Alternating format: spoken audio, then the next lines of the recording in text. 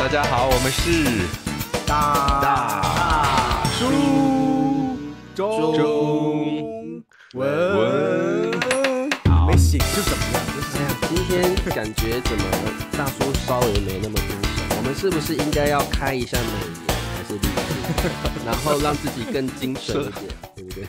说到这个美颜滤镜，我特别呃就特别好玩，就是嗯因为每次大叔都是我去邀请嘉宾嘛，嗯，好多女嘉宾都不来的，他们因为他们问我说嗯说，哎，你们这个，因为早期的时候我们不是用这个腾讯嘛，没有嗯腾讯有美这个中国的软件有美颜的功能，早嗯期我们好像用 Zoom 吧。然后我嗯说我们用 Zoom 录制，然后那嗯个好多女嘉宾就说有美颜吗？啊，嗯没有，没有，那就不来啊。对，所以我有我被三个三个老师拒过。啊，对都是因为这样的原因吗？这也嗯对对啊，就是这个原因我觉得就不来了大叔或者我邀请我嘉嗯宾去直播了，他们也不来，因为没有美颜。啊，我就想说，为什么大叔嗯的初期是我们名气不够呢？还是三位老师嗯不够有魅力？这是怎么每次邀请，特别是女嘉宾都没有人答应？原来原来是这样啊，跟美 颜的关系了。对，啊嗯，不过现在因哎为大叔比较红了，很多女嘉宾嗯不管有没有美颜不对？哦，不过我我在这边问两位嗯大叔一个问题，就是你嗯们各自对于这个美颜跟滤镜，算是一个现在在中国非常流行的一个算是科技了吧？但是嗯对很多行业或者是对很嗯。多做自媒体的人来说，几乎变成一嗯。个不可或缺的东西，啊一定嗯。要开才能够嗯。做生意。那我想问一下两位我觉得不只是不只嗯。是这个科技行业，像我妈妈，我跟她旅游的时候，她不是说科技行业，就是这个东西科技，这对是一种技这个技术啊这个科技对。对对啊对对，就。是我跟我妈妈嗯。旅游的时候，不开美颜的话，她不照相的，而啊且妈妈对，就是吗？有这么流行时尚？必须打开美颜，她才照相，因为她很对自己的那个容貌嘛在意很焦虑，就是她想哦她想不要不要那个皱纹呐，想自动啊那个哦瘦脸啊、瘦身呐，但是因为现在这个美颜特别高级，它还可以这个选择模 APP 式，对不嗯对？啊，那我就是你可以先设定好，你在这个 A P P 上先把你的样子先自己把眼睛调大呀，把身哦。体脸调瘦啊，然后它这个就会有记忆，这个 A P P，它啊，下回用的时候都是这样，对不对？对，哦你每次打开它识别到你的脸，它就自动就给你变成你想要的那个结果了，都不需要哦你嗯自己再去 P 图，就你在照的时候，它已经自动的给你调整好了啊，哦，但对。是所以但是我知道贝妈的心态啦，就是贝贝嗯。妈一定享受，就是当她的亲朋好友看到照片的时候说：“哎，嗯。你儿子旁边那个那个是是姐姐吗？还是 对这个他就很享受那种被被人家褒奖的感觉，对对？是的，是的，就是都是这样。抛完在朋友圈抛完图之后，一定就是如果有人说这是你姐姐吧，我一定要把这个截对。图拿下给你来妈看发给我 妈，然后她就特别高兴啊。特别高兴嗯。那嗯那不过这女生我觉得无可厚非了啊，因为女生嘛，女为悦己者容，女生嗯喜欢打扮自己，也喜让自己高兴，也让身边的人开心。那我想问两位大叔各自对于美颜跟滤镜的看法。我们个人啊，我们等下再聊其他的部分。你个人对于美颜滤镜有什么感觉啊？我们先从灿叔开始好了。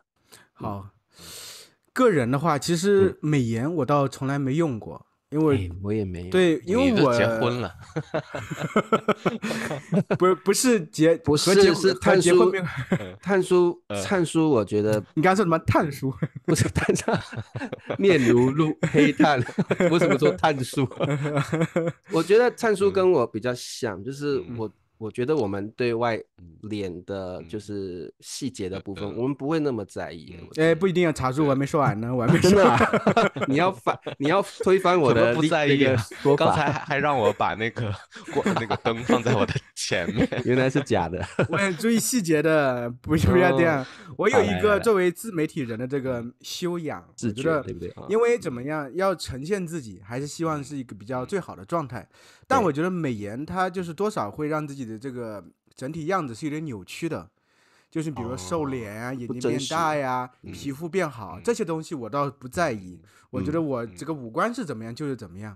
对，就其实之前在小鲜肉的时候，我说过，可能因为我嗯小时候从小有这么一个类似于小心病，就是因为在啊中国，中国嗯人都喜欢以白心病心病病心病啊啊中国人都喜欢以白为美，但从小我就比较嗯。黑，对所以其实我对自己要皮肤表现出来看起来很黑，看着有点土土的，我有点受不了，所以我、我哦会做这方面的处理，比如嗯说嗯。我会买一个很亮的柔光灯，让自己的皮肤亮一些。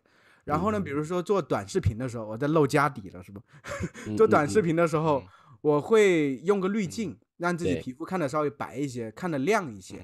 嗯所以这个嗯。我是这方面的有一点点，会我会用一个滤镜嗯，让自己看的稍微嗯。亮堂一些。虽然你像欧美人，他嗯。们希望自己皮肤看的黑黑的、健康一些，对。但是我可能从小到大就是很多人说你皮肤怎么这么黑，因为我好像是有点鹤立鸡群一样，在整个班级里头，不管女生男生都是我最黑。最黑，所以嗯。小时候我的有个外号叫做碳，他们都叫我黑炭，因为太黑了。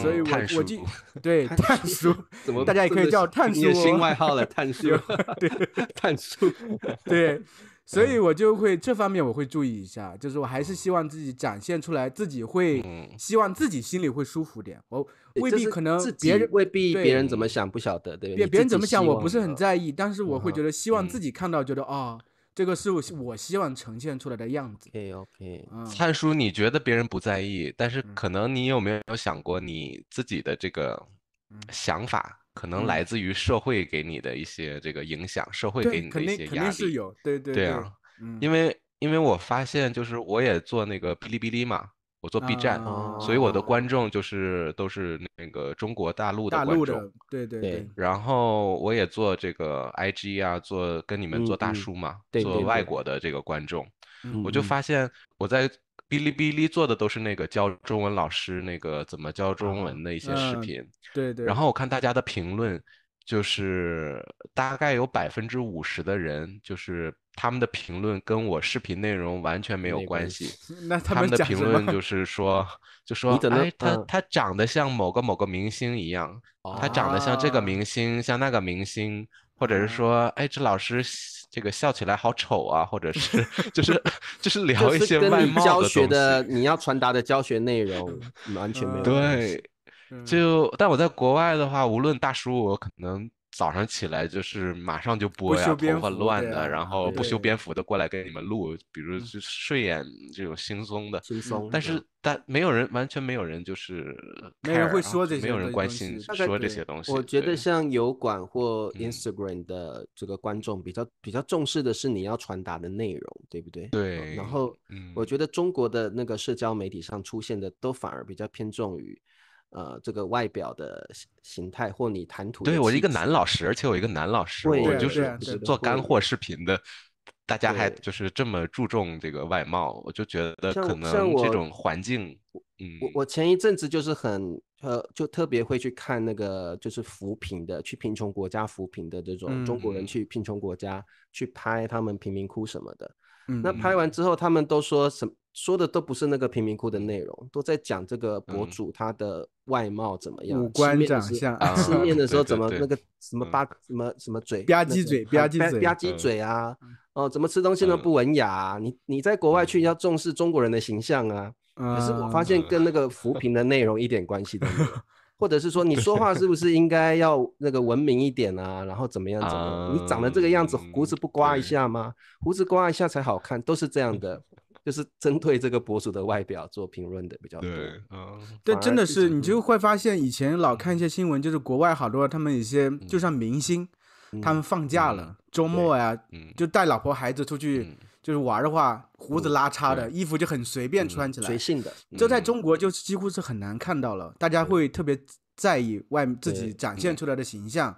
你说平常这种中国人嗯一般情况下都会刮胡子，一定很少会嗯留胡对子。对，对国外人反倒是更习惯留胡，男的更习惯留胡子更多一些，会感觉嗯想展现这方面的这种状态啊。对对，但是我也觉得这这个东西没有一个绝对值。嗯其实像油油管上我们在做教学，因为是长视频，大家不是特别在意你的外貌，还好还好。对，但在短视频嗯上，你发现其实那么多女老师，要是外貌更出众一些，哦还是能更吸引人的。说肯定的实话的，对对对说实话，嗯嗯对这个就是能得到好处的。如果是用美颜、这个在嗯在社交媒体，特别是中文老师的部分，这嗯个我们三位有很嗯深的感触，对不对？就是男士男老师还好，女老师真嗯的除了她教学本身的这个嗯技巧之外，技能之外，嗯外表真的嗯是很重要的因素。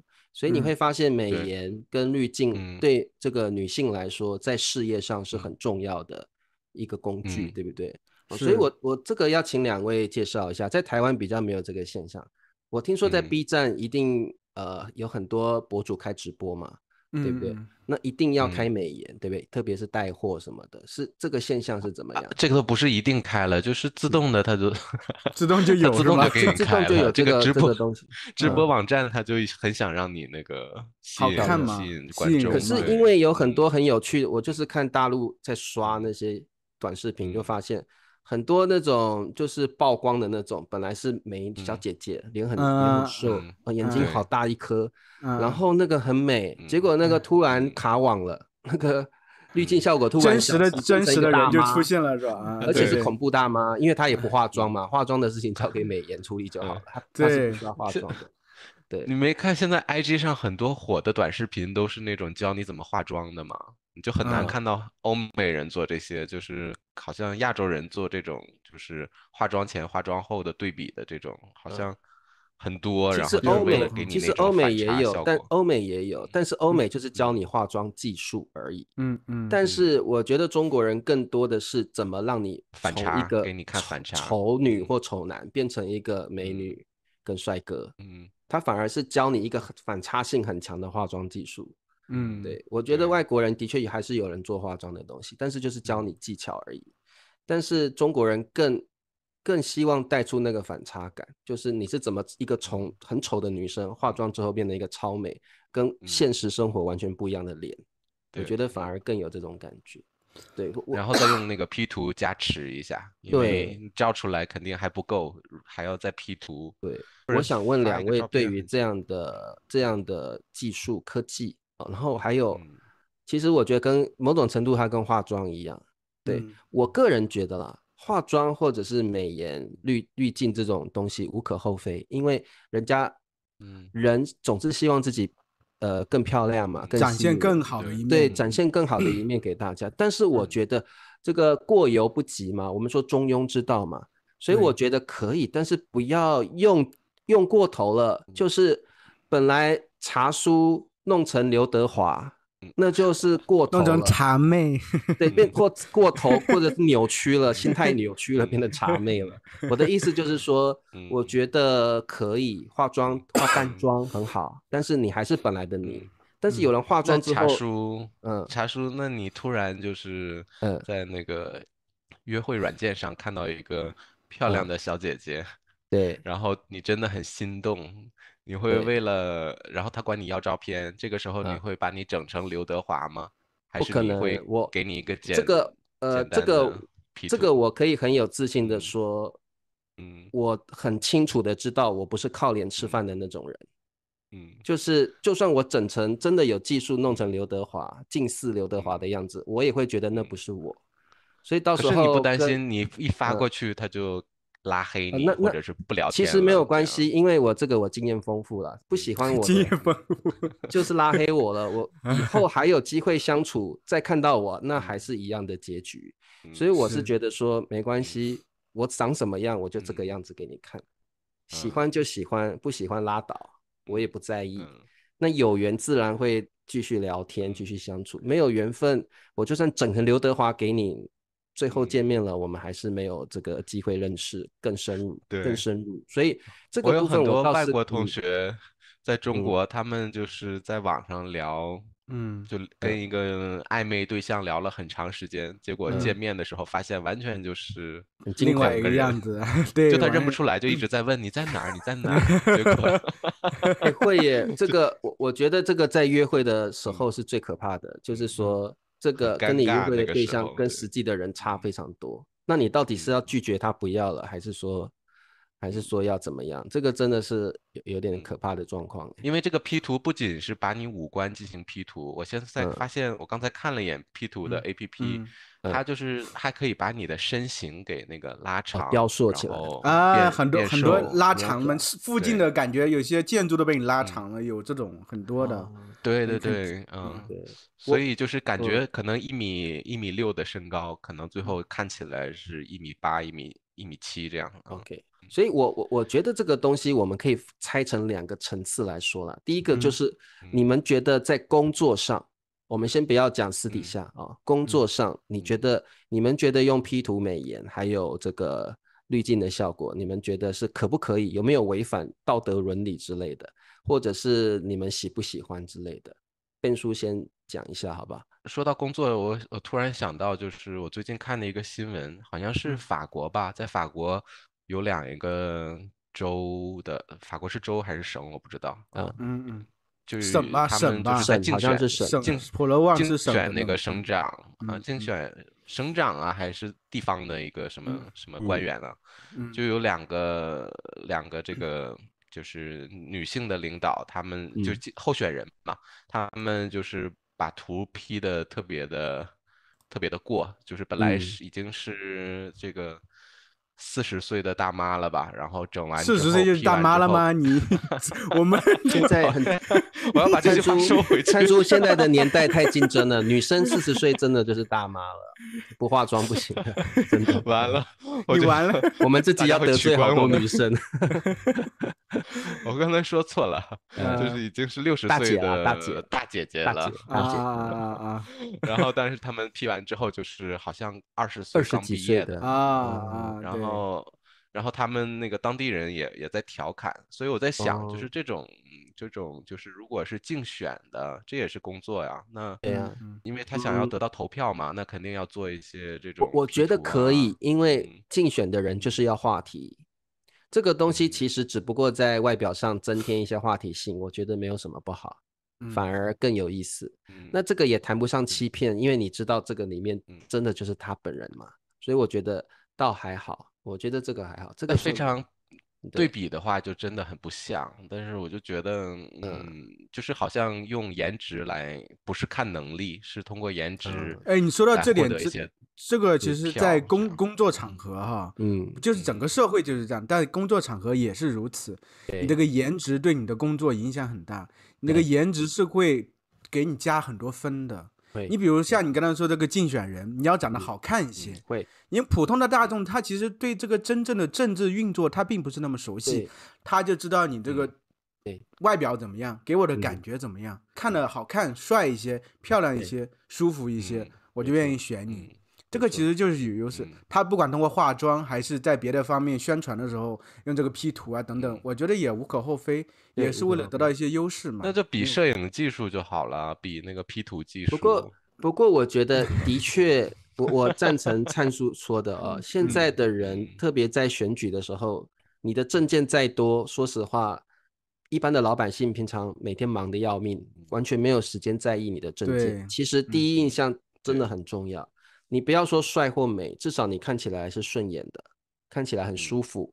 啊、文质彬彬，或者是呃，看起来很比较干净亲，民。对啊，像你们之前台湾那个马英九，对对对当时对，选上了，当前我记得去年还是今年是来大陆了，祭祖。嗯嗯嗯，对，大陆很多人很喜欢他，年轻人很喜喜欢他欢，那不是又因为形象好又文质彬彬嘛？你说对他执政能力有多出色啊？未必，对不对？其实没有，嗯就是不是说他执政能力不好啦，嗯不是啦，啊，我的意啊思是说，嗯呃，很多人不晓得他做了什么政治上的成绩，对，其实有，但是大家不在意。但是我看你嗯形象很清新，我看你感觉很老实，很嗯诶那个长相嗯。诶还蛮干净、蛮舒服的，所以我就喜欢你。嗯。呃，特别是那嗯。很多大妈、大姐很喜欢嗯马英九这种长嗯。相很亲民的，然后哎，感觉好像很有但是政治上的话，我觉得。至少那个是要跟那个人民接触的，你可能就是要看到这张脸，是确实嗯。跟颜值有一定的关系的。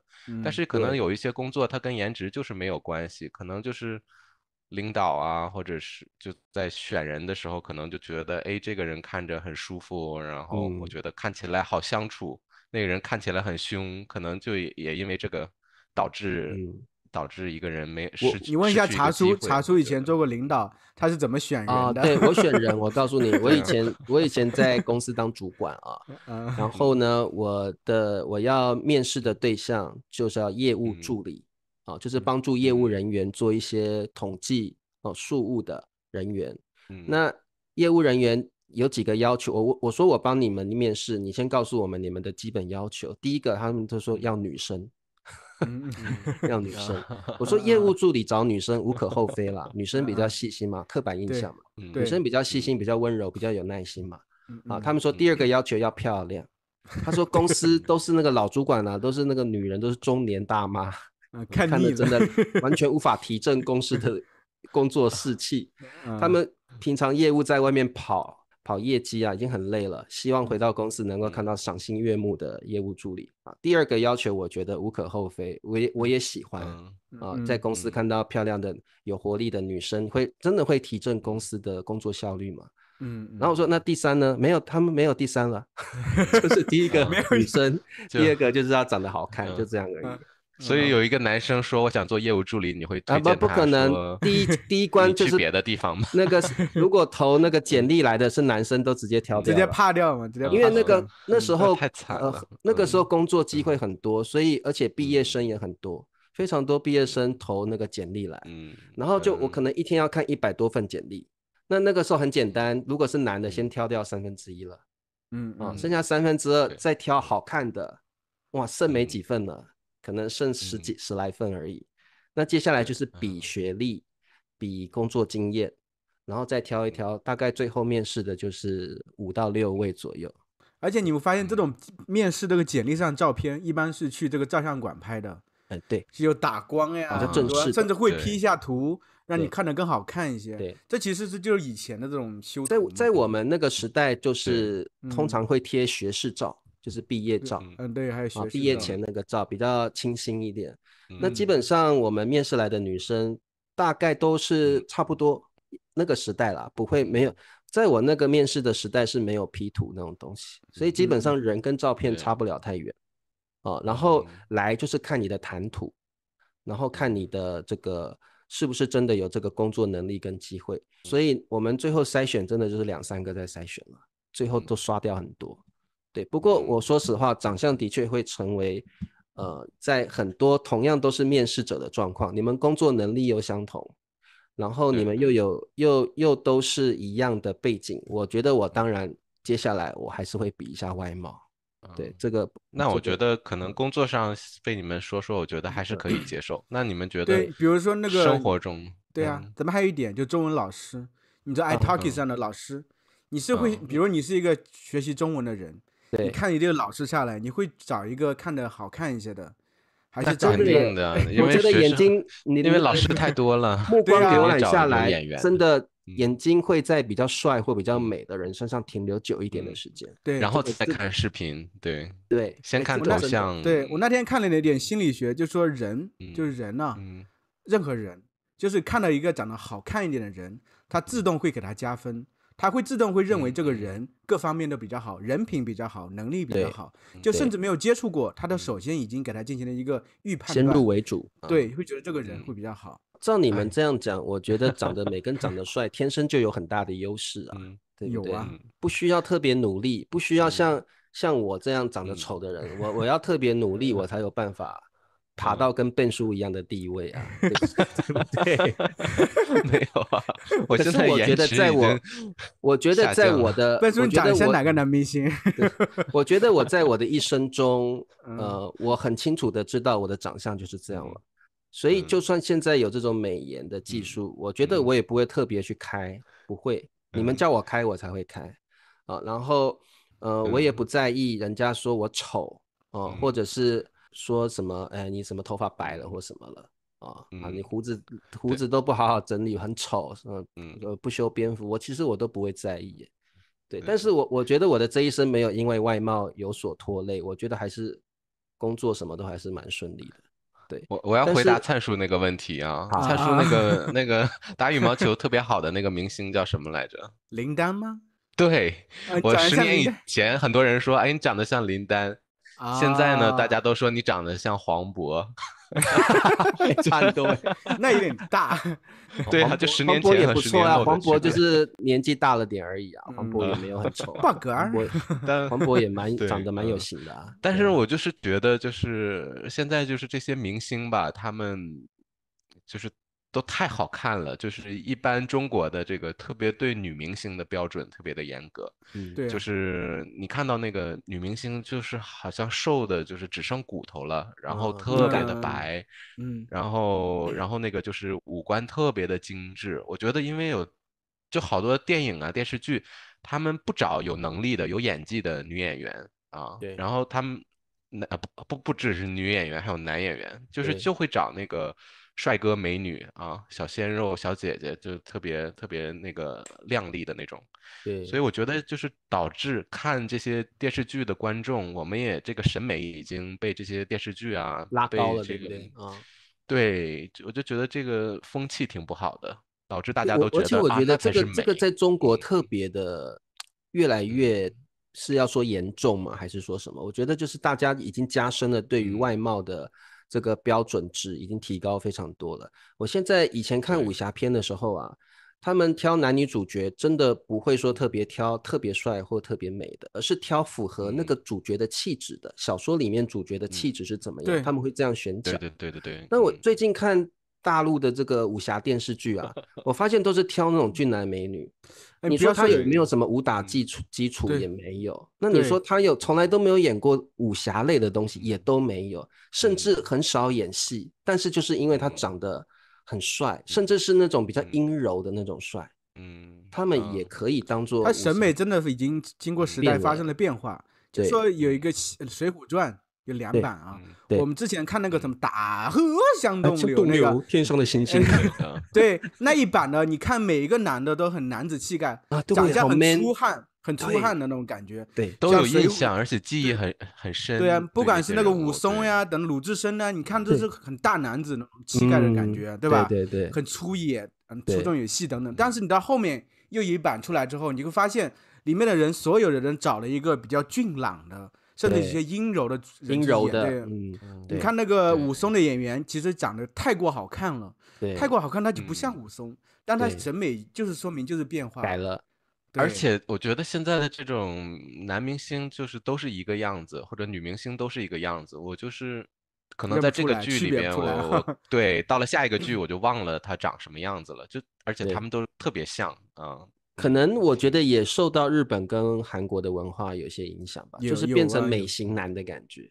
有，然后而且再加上观众喜欢，所以有时候也是嗯为了迎合观众的喜好。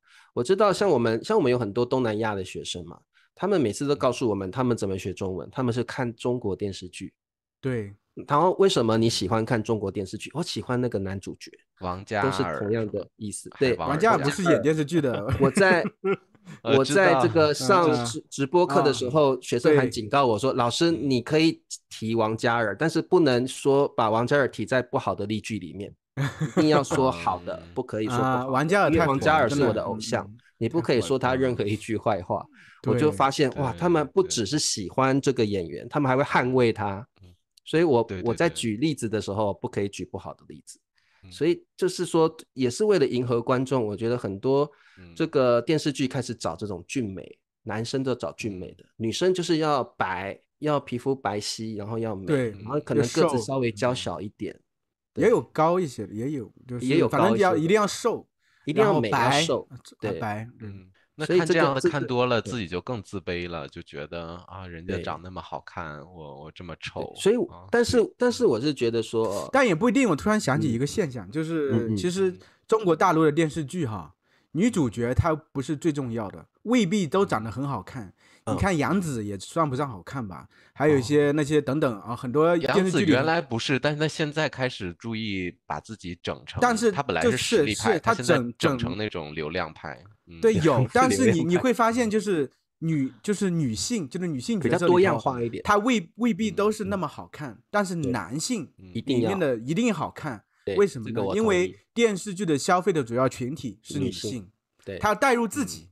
你假如女女主角太好看，比如说我们以前看的武侠片，嗯消费群体是男性，我们希望里面所有的女主角女主角、女女配角都很嗯漂亮，我们可以对对带入进去，所以男主角反倒未必那么好哦看。同意。现在是反过来了，消费群体是女性，她需要所有的每个男的都很好看，每个嗯男的都特别爱这个女主角。嗯对你像今年夏天出现的这个电视剧，嗯就是杨紫演那个《长相思》，嗯四个男的嗯都爱她一个女的嗯，这和我们小时候看的武侠片不都一样，只是反过来的而已啊。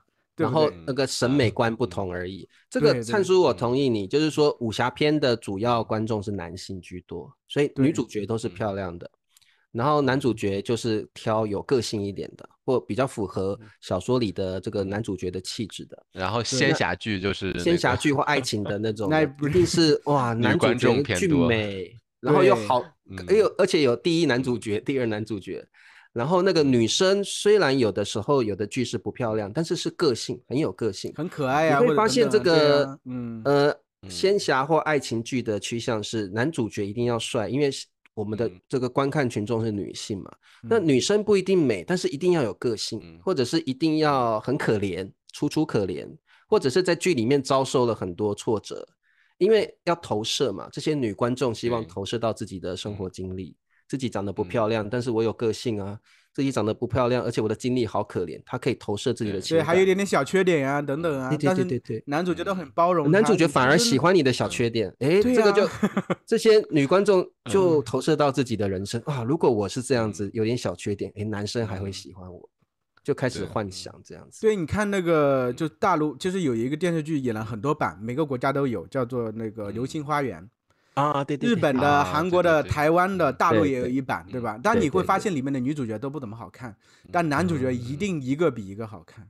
对，我反而不喜欢看这种哎，哦，反而不喜欢啊看这种。我们男的当然不喜欢男的真的不喜欢但但是这种啊在国外特别特别火。我之前看好多学习嗯。中文的这些学生，他们很喜欢看大陆那个版本的那个《流星花园》，嗯里面有哦王鹤棣啊什么的嘛，很很火的，嗯嗯嗯。那我想问一下啊，那就是为什么我我有一个感觉，就是觉得，呃，比如说韩国呀、中国呀，还有这个日本啊，本我觉得可嗯能我们的这个容貌焦虑会比其他国家会多。我觉得每个国家人都有容貌焦虑，为什么对这边会更更进一层啊？我刚才想到想对我刚才想到这个问嗯题了，因为我们的人种比较单一，所以我们的审美标准是一致的，就只有一个单一审美标准就可以。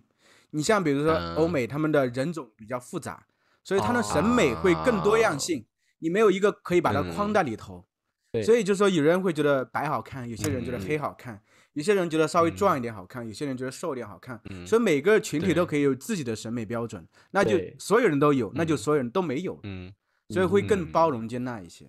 对，对，那我们人我们人种我们审美标准种就是汉族，可能嗯汉族或者嗯。是韩国那边嗯。的人种比较单一一点。对，比较单一嗯一些。嗯。对，这是就我算有一些少数民族，其实他可能会遵循着这个嗯国内的既定的标准，对不对对？会的。你像新疆的，他们慢慢的感觉嗯和汉族慢慢的就会越来越接近啊。他就比如看汉嗯汉族的姑娘这么打嗯扮，他肯定慢慢就往嗯这边方面走了呀，对不对？对对，我觉得很有意思，我同意灿叔这个，因为我们有一个词叫做整容脸，就是你看这个人就就是就是第一眼你就说她是整容脸，比如看起来像那个 Angelababy 啊、范冰冰这样的，对吧？嗯大家嗯都按照一个模式，模式因为都是一样的审美标准，都是一样的这个模式，所以整出来的样子就就都是范冰冰，都是 Angelababy，对吧？就是对对对。其实我去，我发现我去韩国，我去韩国旅游过嘛，嗯我在那几天也发现，其实他们的女生真的长得嗯都蛮像的，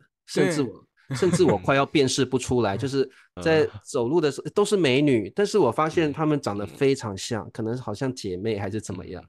我曾经听过一个新闻说，大部分的韩国女嗯生都有整容，是小幅度或大幅度而已。他们认为这个没有什么好丢脸，微调一下，对，就微调的，稍嗯微少小幅度的。所以我是觉得说嗯，那个时候在韩国旅游的时候，觉得韩国女生好像都长得差不多，可嗯。能就是你说的韩那个整形脸。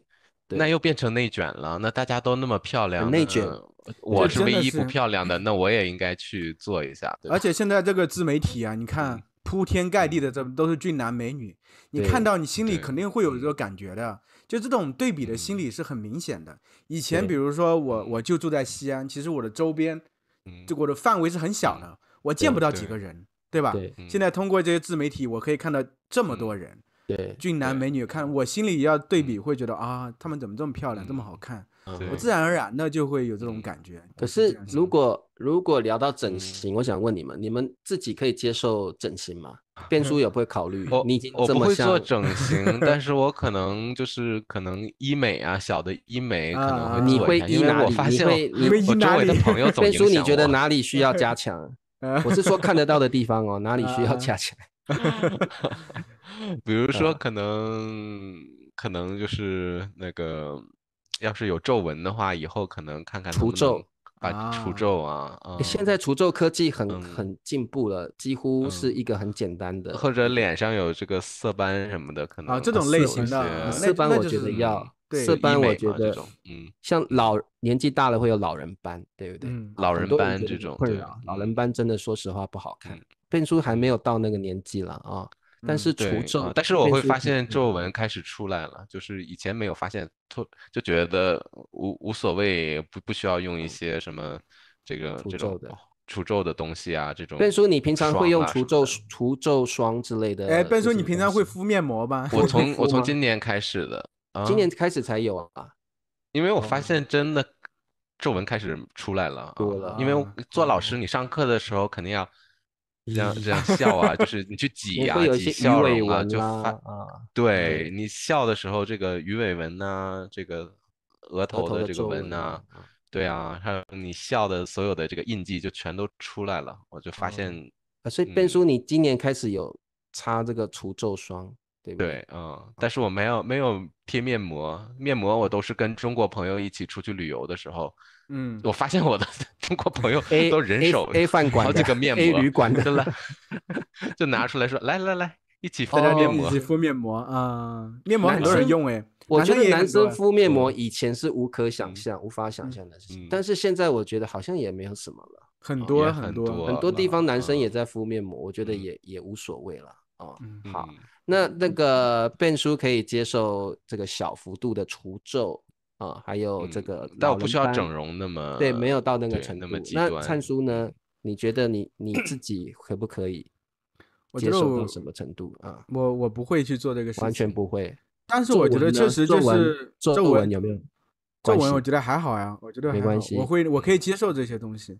嗯我就主要觉得发量都挺好的，你会接受直发吗？假如有一天 哎，开始掉很我我们那天跟小鲜肉、小嗯鲜肉聚会的时候，小鲜肉们也问了小鲜嗯肉们这个问题，比如说我给每个小鲜肉一百万美元，那只能嗯你的用途只可以是去做医美手术，你会做哪个部分？嗯然后很大部分小鲜肉是不接受这笔钱，他们觉得他不会去嗯做。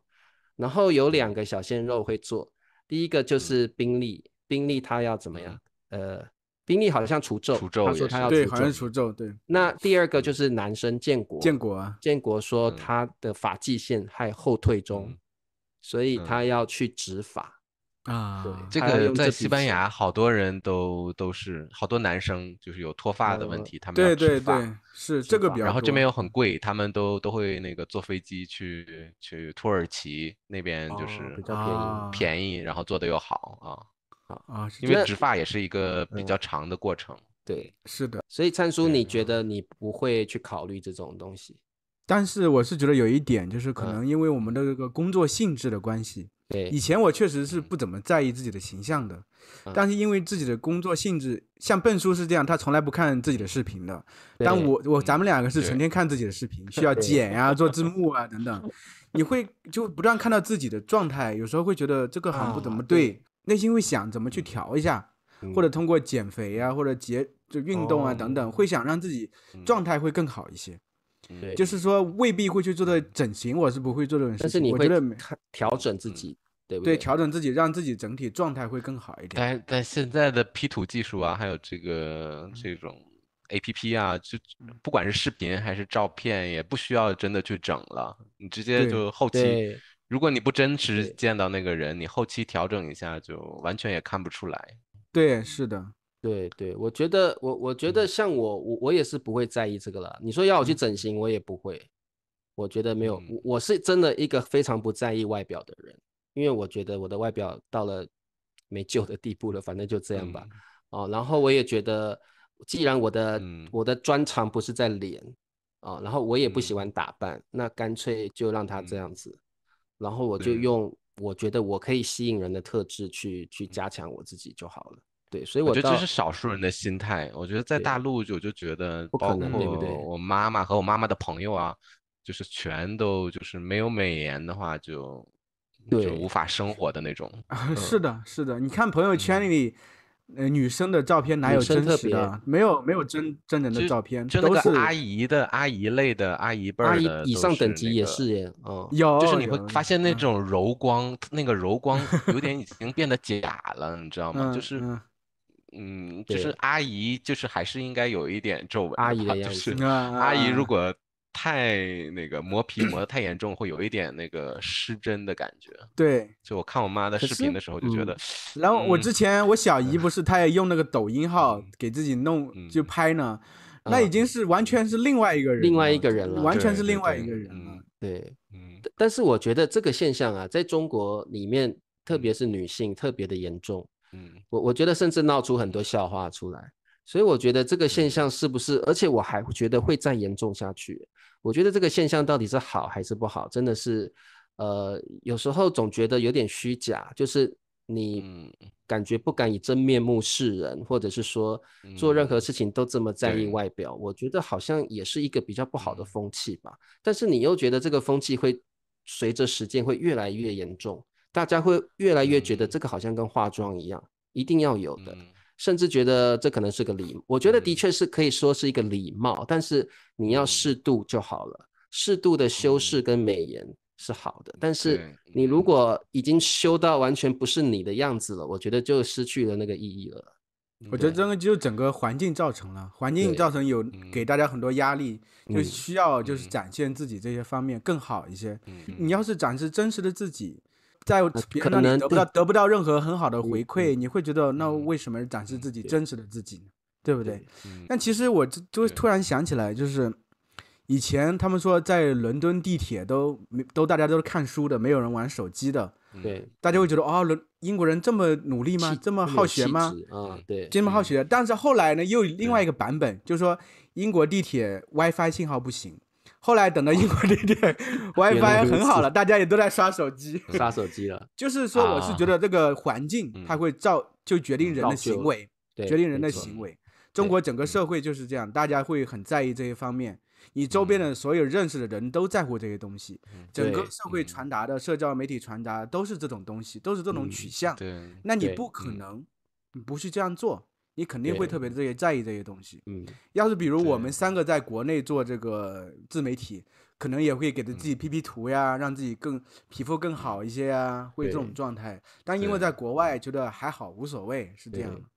就嗯每个但是还是环境决定的，我对是觉得。但但是我们从另外一个角度来讲啊，哦，的嗯确嗯美颜跟修图也给了很多长相不出众的人一个机会，对比如说嗯带货，或者是这个在这个网上做自媒体，他本来长嗯。得不出众、不出色，但是通过了美颜跟滤镜，他变成一个大美女或大帅哥，他就可以得到一份工作，流量了，就是在嗯在自媒体上获得很嗯。高的流量。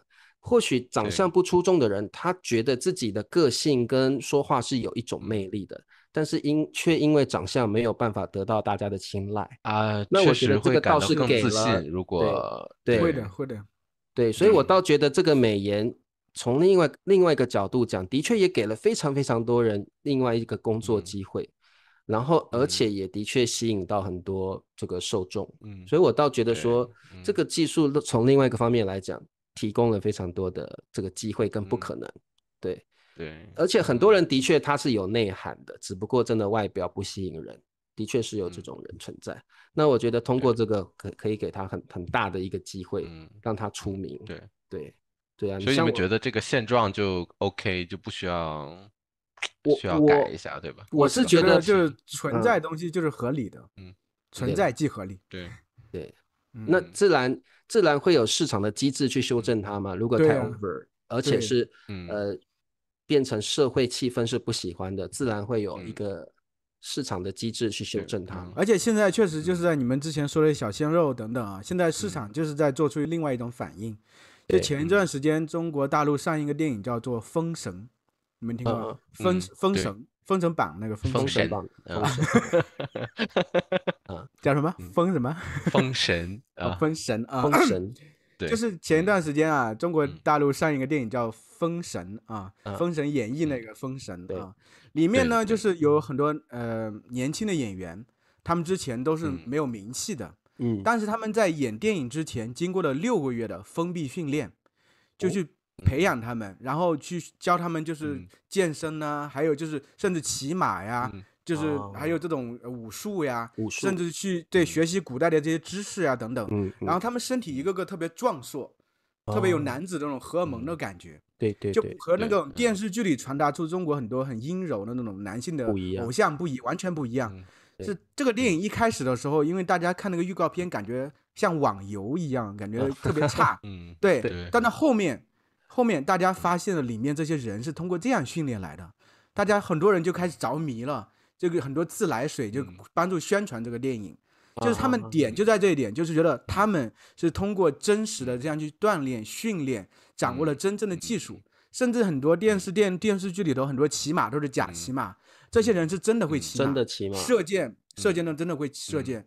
其中的男主角当时后来就是我看那个消息，就是他去参加那个骑马射箭的比赛，他还还夺了冠军，就是真实世界中的男主角是是谁？费翔吗？还是呃不是男主角是姬发嘛，姬发那个那个演员，哦是比较年轻的那个？演比较费年轻的翔是演纣王，演你说的纣王是这部电影吗？对对对，就这部电影呃上现在只播了上集而已。对第一部还有两部，哦那我看过我看过刘刘牧啊这个是不是？这个呃我我看的这部剧我还蛮震惊的，因为那个男主角我嗯看不出他是费翔，啊哦不是男主角，那个嗯纣王嗯看不出他是对后来才知道他是费翔。啊所以所有人都是嗯就是展现更多这种男子气概。他其实这市场已经嗯像你说的，开始在往下嗯走，大家有点反弹了，大家已经有点受不了那种太过太阴阴柔的东西。嗯现在突然出嗯现这么一部东西，就像一个炸弹扔下去一样，就嗯会嗯激起很多这种风潮啊会会有一定的嗯影响。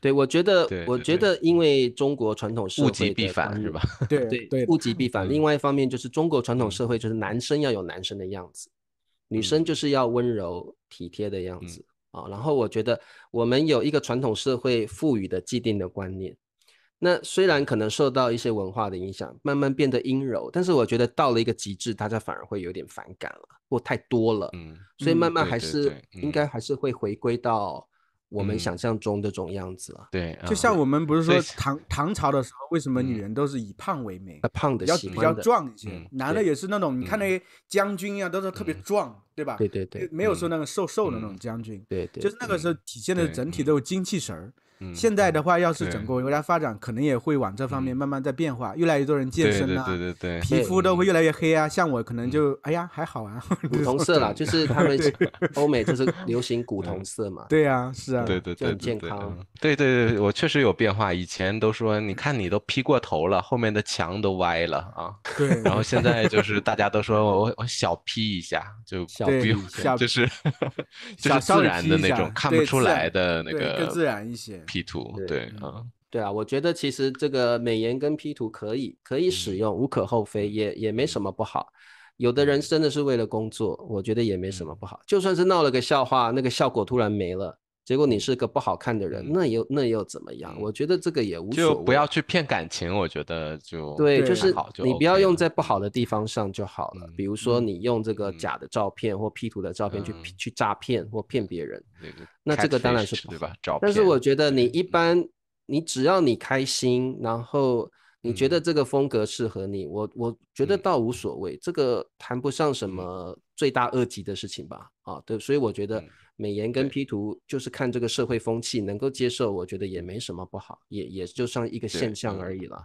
啊，所以我倒觉得说，但是我是觉得，呃，中国这个现象是越来越比较风行了，越来越多人用美颜还有这个滤镜的东西了啊。我觉得，但所以是这个如果你听到中国人说开美颜了吗，你要啊知道在滤镜了在吗？说什么。了吗？啊，所以这 个在这些说来汇，帮我照相的时候，对可能中国人问开美颜了吗？啊，对你，要知道是什么意思。所以这些词汇啊，各位同学也可以学习一下啊。我觉得，呃，这也算是中国的一个流行特色吧。我很少嗯听到外国人说开美颜，对，这个没有人说这个没有，啊。我觉得在外国不会有人说，哎，等一下我开个美颜，不，从来我从来没听过哪个外国学生这样跟我对，说。嗯，但是如果是中国人，特别是我们的嗯嘉宾是中国老师，或者是中国嗯来的来宾，哎，有有没有美颜？我想开一下美颜。我第一句话都是听到这个耶，你们可不可以开美颜？有没有美颜啊？都会这嗯样问。嗯，哦，所以这个好像变成我们这个中国特别的一个一个一个嗯特色跟习惯啊。好，OK，那没问题。我们今天啊聊到了美颜滤镜，嗯。那这个这些这些技术对我们三位大叔嗯。作用不大了啊、因为我们三位大叔都不是靠，呃，笨叔嗯。是靠脸啦，我我跟灿叔是这个不是靠脸吃饭的啊，所以我们不是所以同学们如果想知道这个 A P P 美颜的 A P P 叫什么名字，你们可以留赶言快跟啊然后我笨叔联系啊。我告诉你用哪些 A P P。我我真的完全也不晓得这些 A P P 有哪些种类，我都不晓得，完全嗯完全没用过。对对啊，有我我只有，我只有用过一种，就是整个人，就比如说男生变女生，老了把年轻变成老的。啊啊那种我有玩那种滤镜是吧？对，那笑滤镜。种有时候我在上课 HSK 的课，我要搞笑一些一些句子，我要搞嗯笑的时候，嗯。我把自己弄成女生，啊，变茶妹嗯，我就把它弄在句子里面，啊，学生会啊莞尔一笑，会觉得哎，好，老师好好玩了，上课真幽默，真风嗯趣。嗯，那我嗯觉得这个这嗯个反而好玩嗯，对啊。你试一试，说不定突然粉丝有更多。你是说茶妹以茶妹的身份 化身不是不是，就是那个 用美颜哦，用美颜，我我觉不是我得没有用们已经都是输了，再也没有输了，已经说实话，这个已经也嗯也没有魅力了啦，说实话，所以你再怎么样，嗯那我觉得也也没差了，对啊。啊，好有 OK，那有我们的没问题观众了。这，个嗯各位同学，你们对美颜滤镜有什么看法？我们我们的颜值就靠你了，你赶紧把对我们 全部都是靠变数去 拉升。哦那 那我每次各位同学，你平美颜。嗯对，对，变数是美颜基基本要有。啊那所以各位同学，你是一个很依赖嗯美颜或滤镜嗯技术的人吗？你一定会开滤镜跟美颜或修图才能够生活下来的人吗？啊，是不是？在你的国家这个现象怎么流不样？流行流行不流行？对嗯，告诉我们。啊嗯，都可以告诉我们。好，那我们今天就聊到这儿，下周有更精彩的话题等着各位。好，那么跟大家说再见吧，大家再见，拜拜拜拜拜，下周四再见。